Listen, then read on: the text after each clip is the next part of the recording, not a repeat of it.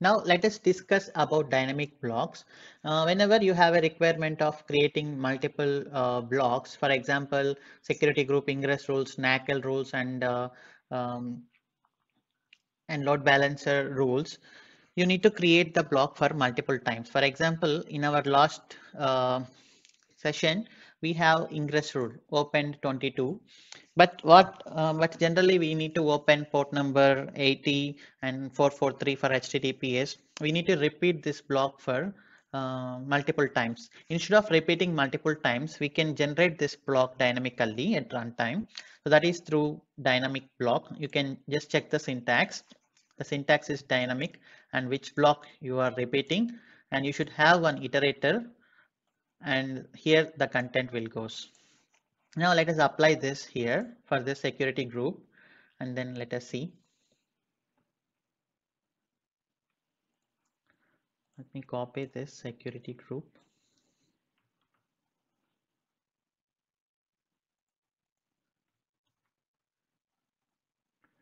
Okay, here allow SSH HTTP https this is the name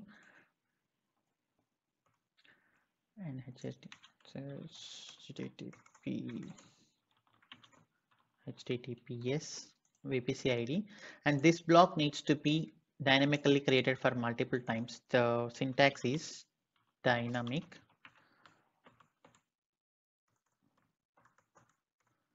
Ingress.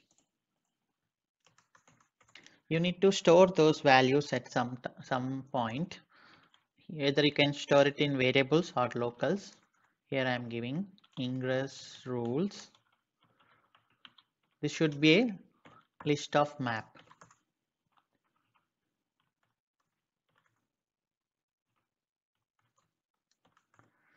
Okay, here description is going to be changed. Port number is going to be changed. Protocol is mostly TCP and this IP address is same. So these three parameters are going to be changed. Mostly from port and to port are same. I need to have description.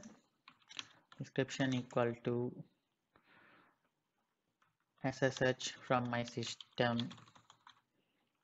Port number equal to 22 and similarly for port number 80 this is http and port number 443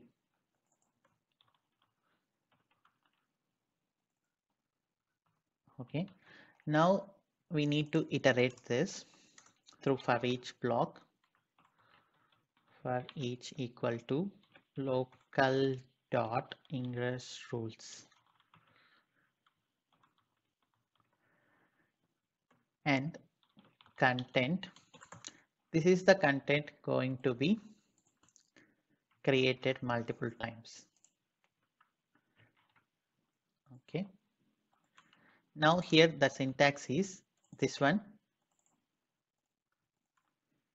Ingress dot value dot. What is the key name? Description. Same here. Ingress dot value dot port. This port is also same.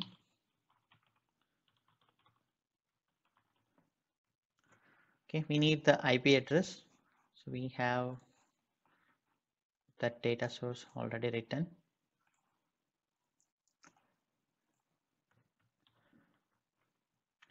Okay so this is how we create dynamic blocks.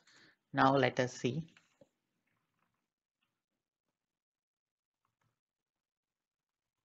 Terraform plan.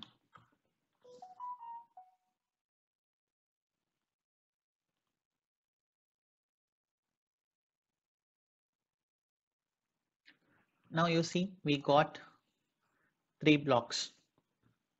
One is 80, 443 and then 22. Now let us apply and then see.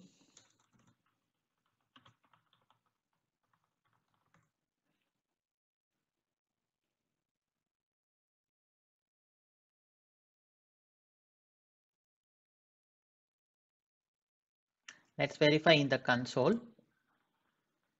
go to security groups. We have the security group created.